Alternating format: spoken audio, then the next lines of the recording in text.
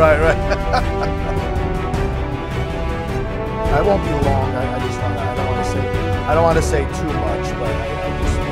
I want to say a couple of things. I, want to. I want to refocus. I basically want to refocus the conversation back to and March for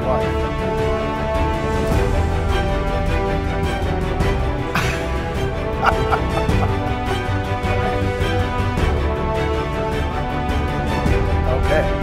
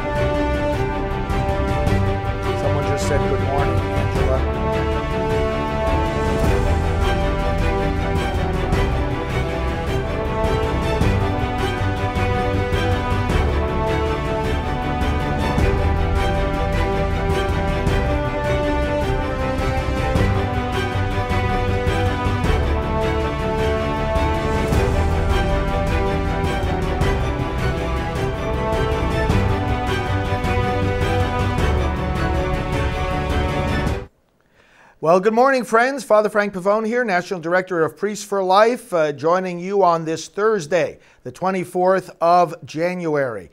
And uh, I want to thank all of you who were at the March for Life. Uh, we're still uh, assessing the comments and uh, all of the wonderful uh, inspiration that people got from the different events, especially the events that we were privileged to organize and uh, processing your requests for more material. And uh, just thank you for being there and, and for all that you do uh, for the cause of life. I'm getting ready uh, here at our office today for leaving tomorrow for San Francisco. The Walk for Life West Coast is tomorrow, and uh, we are going to be joining uh, over 50,000 of our fellow citizens uh, there on the West Coast. Uh, they come from all up and down the coast and from some other states as well to walk for life.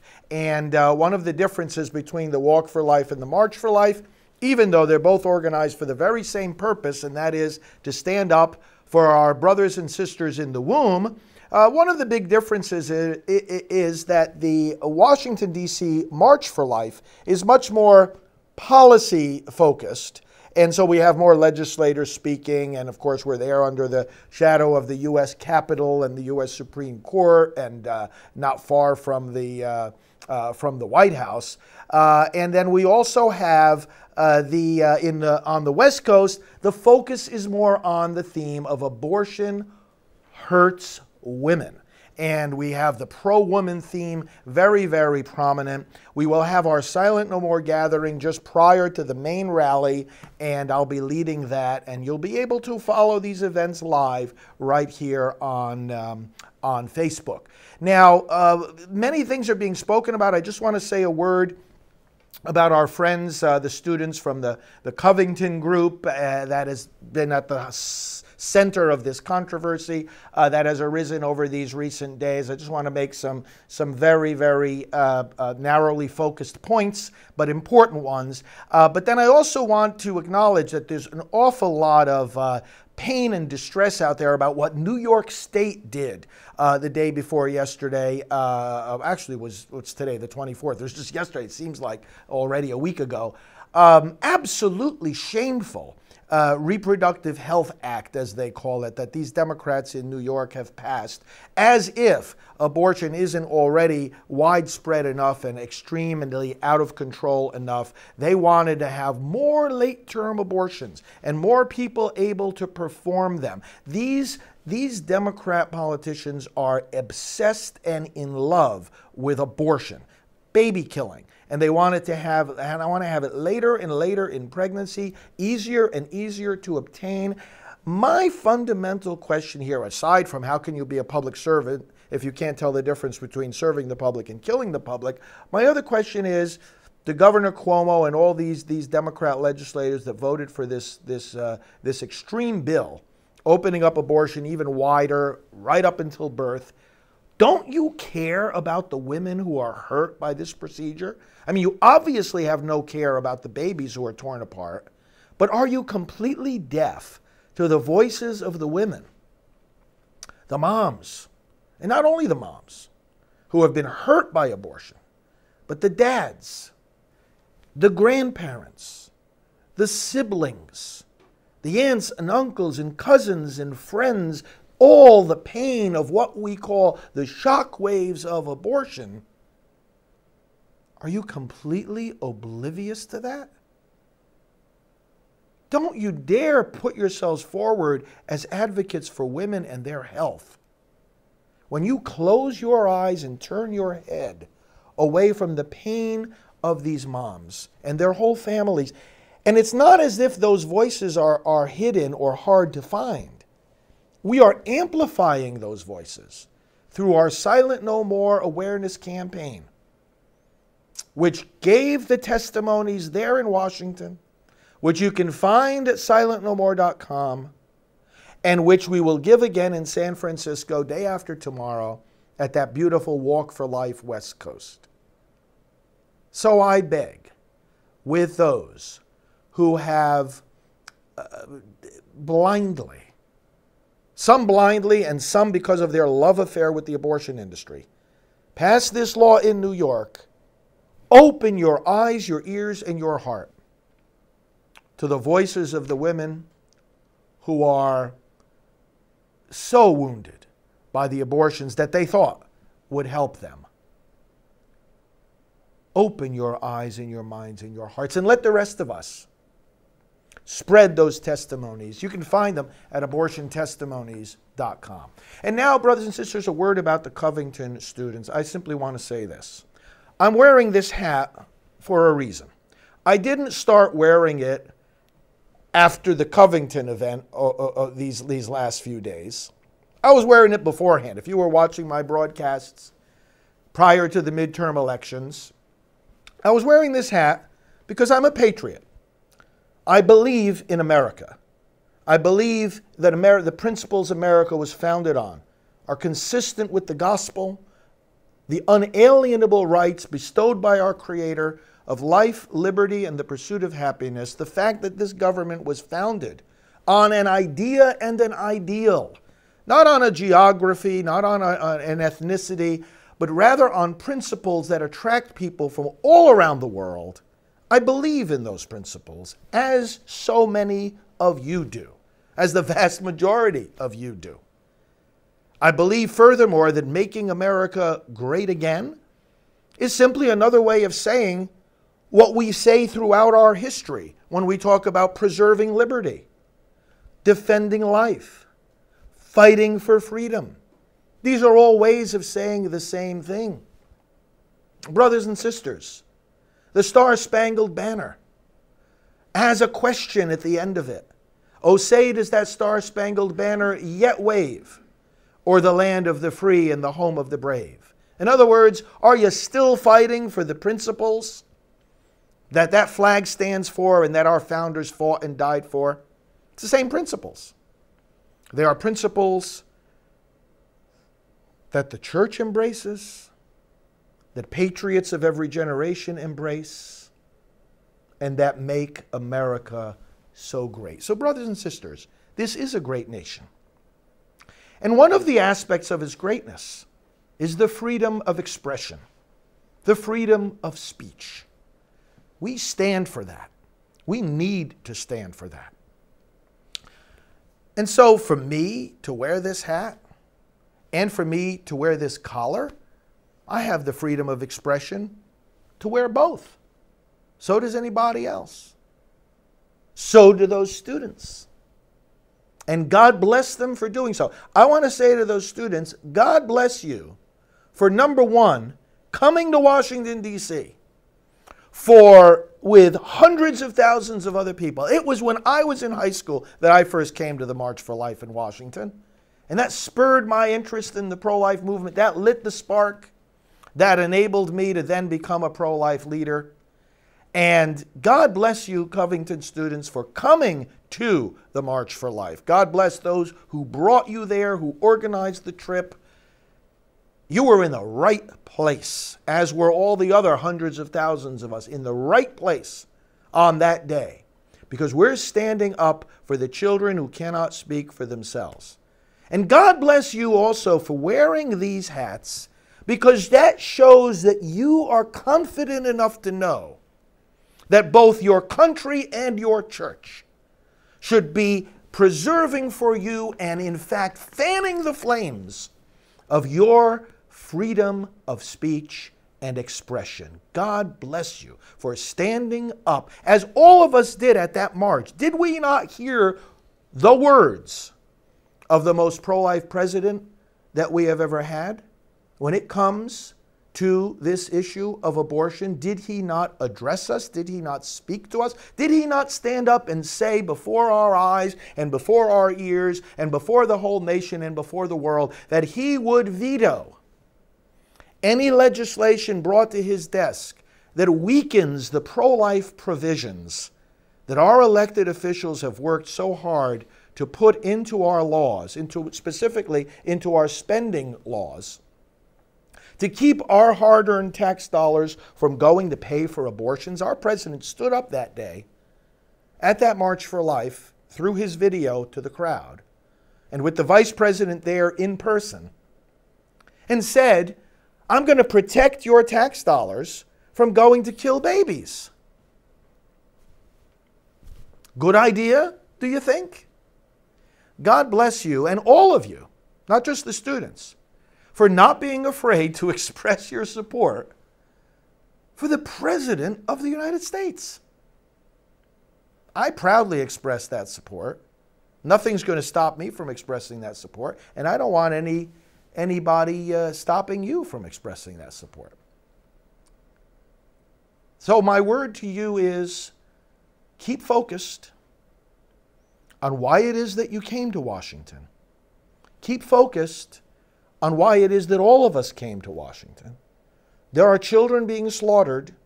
They were being slaughtered Friday, they, they were slaughtered on Saturday, some were slaughtered even on Sunday. They're being slaughtered all this week and next week and the week after. It has got to stop.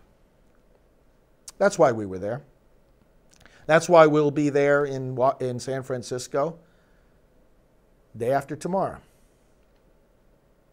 But I have another word those protesters that were there at that Lincoln Memorial. I don't know if any of you are going to hear or see this message, but you've got to open your eyes to abortion too. Whatever other reasons that brought you there, again, you have your freedom of expression as well. But do you realize that there's a Holocaust going on of little baby boys and girls? And that these students who were there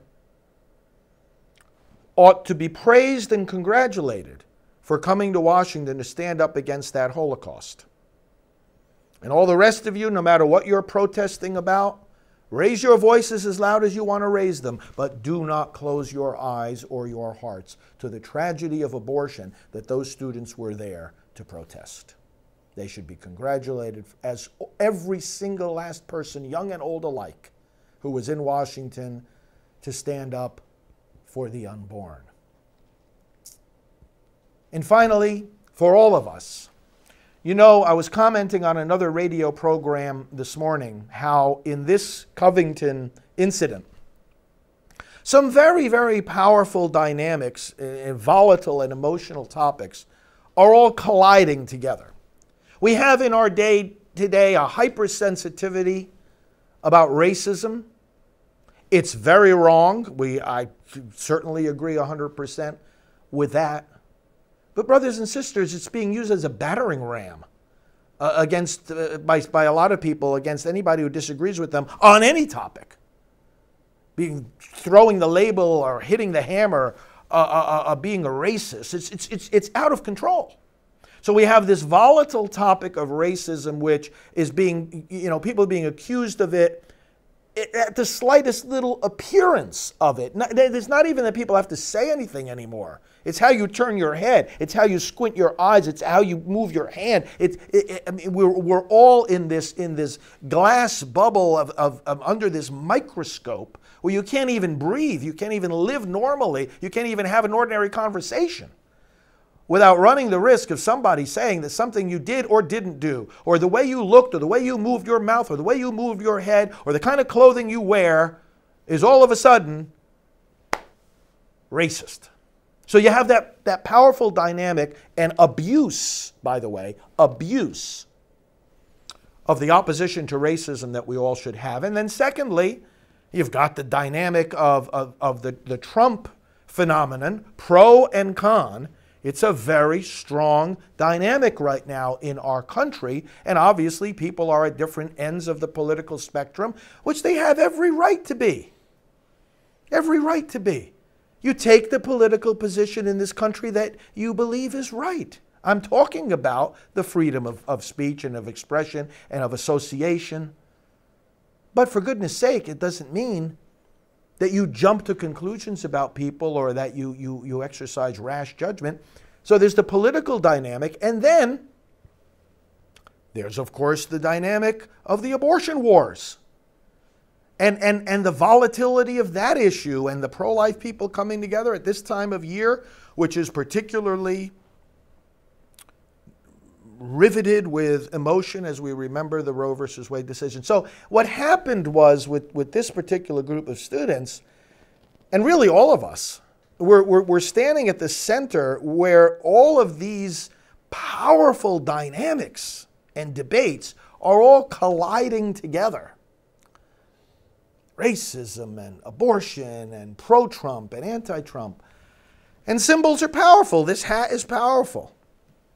It evoked various comments pro and con, just among those of you who are here today. But what we have to be careful of, brothers and sisters, is that in the midst of this, I want to warn you about two things, and then I'll conclude. Number one, be careful of rash judgment. How quickly people from the left and from the right jumped upon these students, upon this situation when it first arose without even looking at the facts. Let's not rash judge one another. All kinds of people jump uh, uh, on me with all sorts of rash judgments for everything and anything I do and say or wear. Well, we, we've got to stop the rash judgment.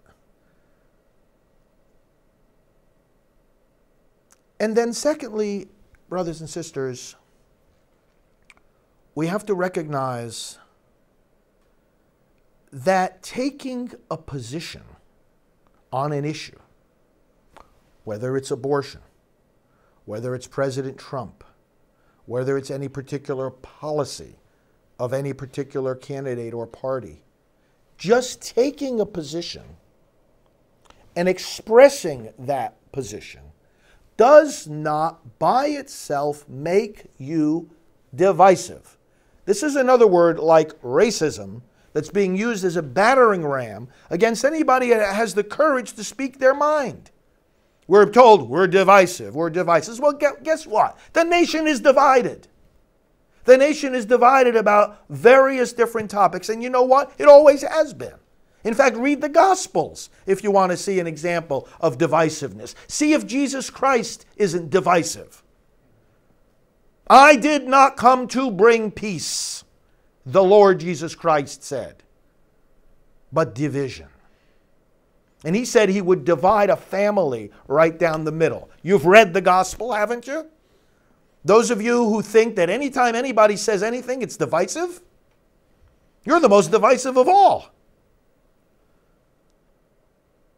Nobody can say anything these days without someone accusing them of racism and someone accusing them of divisiveness and someone accusing them of being political. A priest can't preach the gospel without somebody telling him he's being political. Brothers and sisters, I have a piece of advice for all of you. And it comes from a man who passed away not too long ago that I'm sure many of you would watch regularly on television Charles Krauthammer. I was saddened, as many were, when, when he passed away some months ago. But you know, in the tributes to his life, I was also very inspired because people were recalling that he said, if you don't, and I'm just paraphrasing, but this was his exact thought if you don't speak your mind clearly and honestly, you have betrayed your whole life. Think about that. If you don't have the freedom, the integrity to be able to say what's on your mind and to speak freely, brothers and sisters, you've betrayed your whole life. Thank you, Charles Krauthammer, for not only articulating that point, but for living it and giving the example. And I pass that on to you again, brothers and sisters. It's utterly American that we have that robust freedom of speech. As the Supreme Court said in one of its decisions about free speech, our, our discourse in America on politics and on everything else has to be robust, it has to be uninhibited. And you know what? The church believes the same thing. The church believes the same thing, and shame on us if we give any impression otherwise that we are not all, from high school students to the uh, Native Americans and African Americans and priests and all of us together. We have the right to express our mind. And if we don't, we betray ourselves. Brothers and sisters, you want to wear this hat? Wear this hat. You don't want to wear this hat? Then don't. You want to support one candidate or another? Go right ahead. But be ready to engage in the honest process that we have in this country of making our case, of expressing opposition to different ideas, and then expressing our position also in the voting booth. Let's have this process continue in a vigorous, uninhibited way as Christians as Catholics, as students, as clergy, as Americans. Can we pray together? Lord, thank you for this nation. Thank you for the great cause of life. Thank you for the gospel of Jesus Christ. Thank you for students who are not afraid to stand up against injustice. Thank you for citizens who are not afraid to express their political views.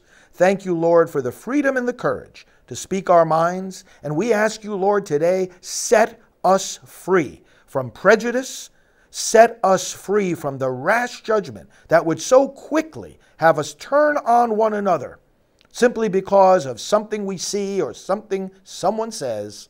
Lord, give us open minds, gentle hearts, and free spirits, that we may listen more than we speak, that we may allow the other to express what they say and what they mean, that we may have the humility to ask for forgiveness if we misinterpret the words or actions of others, and that they, we may have the strength, indeed, to defend life and to make America great again. We pray through Christ our Lord. Amen. May the Lord bless each and every one of you, Father and the Son and the Holy Spirit. Amen. Father Frank Pavone here of Priests for Life.